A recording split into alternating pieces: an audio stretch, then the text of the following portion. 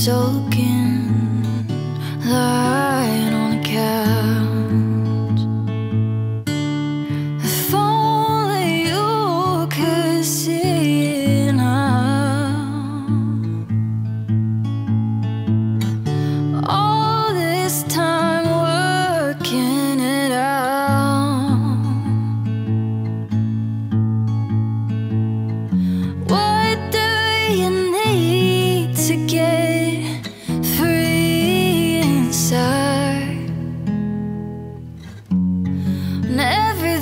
It's changing all the time.